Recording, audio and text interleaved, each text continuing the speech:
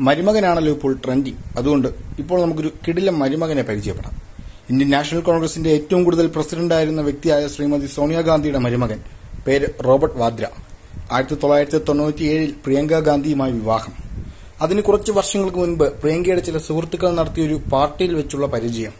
ക്രിസ്ത്യനായിരുന്ന Robert Vadra വിവാഹത്തോടെ ഹിന്ദുമതം സ്വീകരിച്ചു.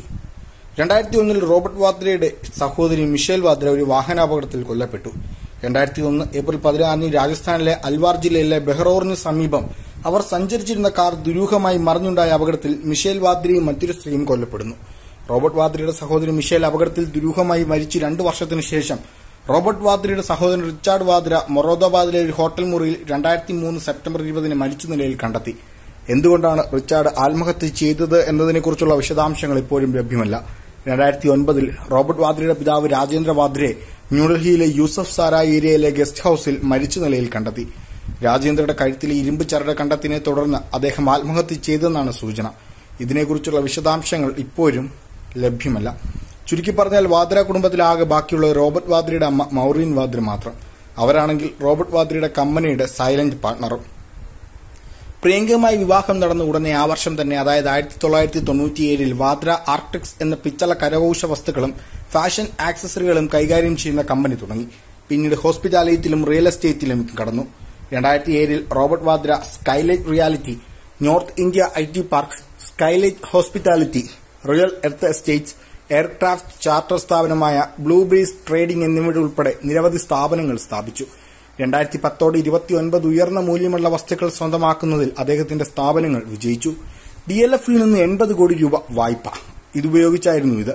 ഇതിനു പുറമെ ബെഡാവാൾഡ് infrastructure V R S infrastructure Nihil international എന്നിവയിൽ നിന്നും ഉയർന്ന മൂല്യമുള്ള വസ്തുക്കൾ അദ്ദേഹത്തിന്റെ കമ്പനികൾ നേടിയെടുത്തു. ന്യൂഡൽഹിയിലെ നൂറ്റി പതിനാല് സ്യൂട്ട് റൂമുകളുള്ള ഹിൽട്ടൺ ഗാർഡൻ ഹോട്ടലിന്റെ ഉടമസ്ഥയിലുള്ള സാക്കേത് കോർട്ട്യാർഡ് ഹോസ്പിറ്റാലിറ്റിയുടെ അൻപത് ശതമാനം ഓഹരികൾ മുപ്പത്തിയൊന്ന് ദശാംശം ഏഴ് കോടി രൂപയ്ക്ക് വാങ്ങി. ഇതിനൊക്കെ പുറമെ ബിക്കാനീർ മൻസീർ പൽവാർ ഹസൻപൂർ മോവത്ത് എന്നിവിടങ്ങളിൽ നൂറുകണക്കിന് ഏക്കർ കൃഷിഭൂമിയും വാദ്രയുടെ സ്ഥാപനങ്ങൾ വാങ്ങിക്കൂട്ടി. രണ്ടായിരത്തി പതിനൊന്ന് ഒക്ടോബറിൽ അരവിന്ദ് കെജ്രിവാൾ റോബർട്ട് വാദ്രയുടെ രാഷ്ട്രീയ ആനുകൂല്യങ്ങൾക്ക് പകരമായി ഡി എൽ എഫ് ലിമിറ്റിൽ നിന്നും ഈടില്ലാതെ അറുപത്തിയഞ്ച് കോടി രൂപ പലിശരഹിത വായ്പയും ഡി എൽ എഫിന്റെ ഭൂമി ഇടപാടുകളിൽ നിന്ന് വൻതുക കമ്മീഷനായും വാങ്ങിയെന്ന് ആരോപിച്ചു. റോബർട്ട് വാദ്ര ഹരിയാന മുൻ മുഖ്യമന്ത്രി Bhupinder Singh Hooda D L F എന്നിവർക്കെതിരെ ഭൂമി ഇടപാടുകളിലെ ക്രമക്കേടുകളിൽ സിബിഐ അന്വേഷണം നടക്കുന്നു. കോൺഗ്രസിന്റെ ഭൂപീന്ദർ സിംഗ് ഹൂഡ സർക്കാരിന്റെ കാലത്ത് ഹരിയാനയിലെ അമിപ്പൂർ ഗ്രാമത്തിൽ രണ്ടായിരത്തി പതിമൂന്നിൽ നടന്ന അൻപത് ഏക്കർ ഭൂമി കയ്യേറ്റവുമായി ബന്ധപ്പെട്ടാണിത്.